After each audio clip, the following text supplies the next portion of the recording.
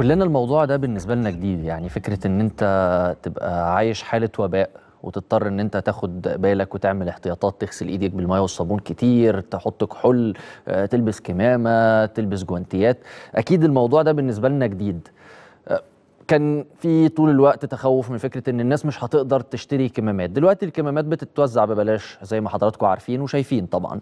توزع في أماكن كتير ببلاش على كل الناس. بس هي الفكرة إن يعني لما الواحد بيبص كده وبيتابع تلاقي ناس لابس الكمامة بس منزلها حاططها على بقه بس وكأن المناخير دي مش جزء من الجهاز التنفسي وكأنها مش هتعديك. انت منزلها يقول لك أصلا أنا مش بعرف أتنفس وأنا حاطط الكمامة فاحطها على بقي بس. فهو يعني بيحمي الفيروس من بقه بس ما بيحميهوش من مناخيره. فلا كمامة كله يعني آه، آه، رتب نفسك كده واحدة بواحدة عشان مناخيرك برضو ممكن تجيب الفيروس. أو التاني أو التانية اللي تلبس جوانتي وتقول لك أنا لابسة جوانتي. أنا اعمل اللي أنا عايزاه. بس هو على أساس إن الفيروس بيجي على الإيد فبيخترق الجلد يمشي في مجرى الدم يروح للرئة. وتلاقيها لابسة الجوانتي وتروح ماسكة الحاجات وبتاع وتحط إيديها على مناخيرها ووشها وعادي خالص تمام. مش فارق معاها الجوانتي ده فيه قدرة خارقة أول ما بتمسك الفيروس بتكهربه فبيموت. الجوانتي بيحمي إيديك من الفيروس هو الجوانتي بيحمي إن الفيروس ما يجيش على إيديك. فده مش معناه إن أنت تحط الجوانتي على وشك. أو تلمس بيه مناخيرك لأن إيديك ما فيش خطر عليها. حط إيديك في مزرعة فيروسات مش هتتعدي مش هيجي لك كورونا.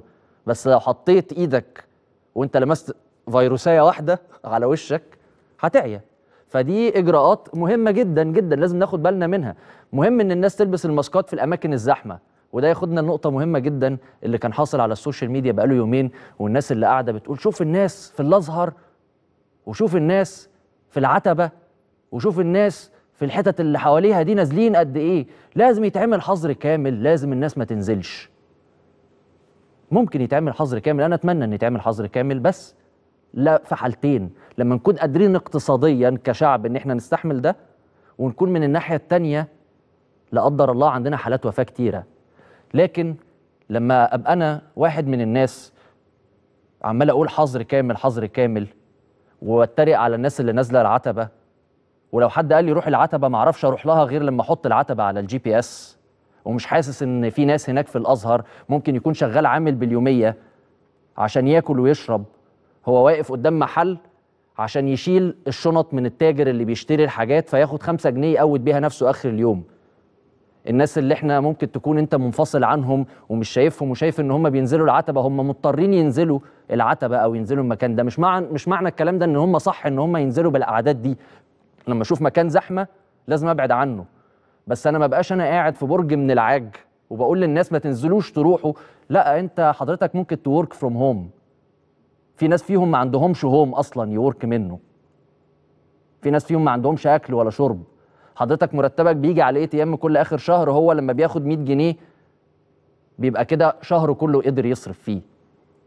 ما نقدرش الاقتصاد بتاعنا ما احناش زي أمريكا هينزل لنا على الـ ATM بتاع كل مواطن 1200 دولار. في ناس عندنا بتشتغل يوم بيوم عشان تصرف سواق التاكسي اللي كان بيشتغل الصبح في مؤسسة حكومية وبالليل بينزل يشتغل على تاكسي عشان يدفع إيجار التاكسي أو القسط بتاعه. لما حصل حصل حظر بقى النص التاني بتاعه مش موجود فنص دخله وقع.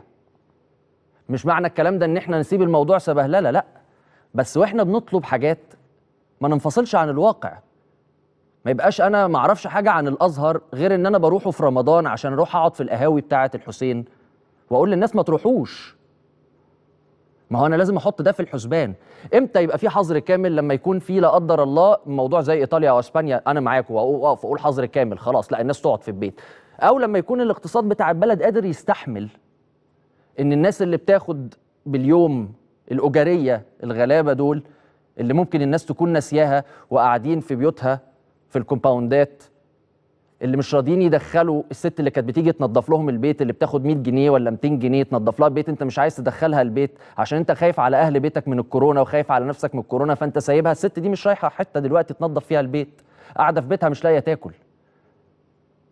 فاحنا لازم يعني الموضوع ما يبقاش منفصل ما نبقاش شقين في المجتمع في المجتمع منفصلين. الواحد يعز عليه إن هو بيتكلم مع ناس كده وبيتكلم مع ناس كده أو إن هو شايف الناحية دي وشايف الناحية دي. ما إحنا فوق في ناس بتعمل حاجات غلط وتحت في المجتمع في ناس بتعمل حاجات غلط. بس نبقى أرحم من كده على بعض. آه اللي حصل في الأزهر واللي حصل في العتبة غلط. غلط كبير. بس ما نبقاش قاسيين على الناس كده. ما نبقاش في القسوة دي. هو مضطر ينزل. انت تقدر ما, تقع... ما تنزلش. لو شغال في شركة قطاع خاص وقال لك روح انت تقدر ما تنزلش. هو مضطر ينزل العتبة. انت وهو مضطرين.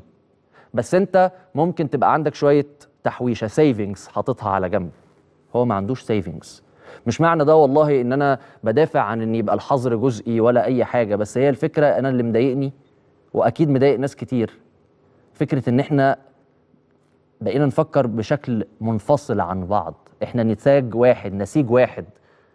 نزول حضرتك ممكن يعرضك أنت واللي رايح العتبة للكورونا وهو برضه في العتبة ممكن يتعرض للكورونا ويعرضك. فإحنا أي حد فينا هيشيل الفيروس هو هيعدي التاني. فلما نقول نقعد في البيت اللي قادر يقعد في البيت يقعد في البيت.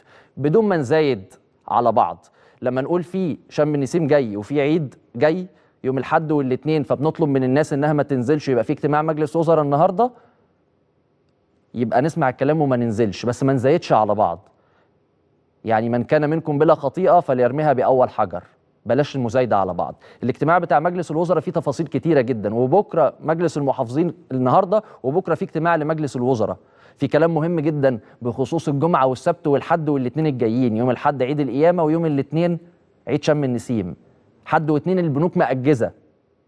كنا اتكلمنا مع المستشار نادر سعد قبل كده بخصوص شم النسيم والناس اللي هتنزل تقعد في الشوارع في الأماكن الخضراء الجناين اللي في الشوارع.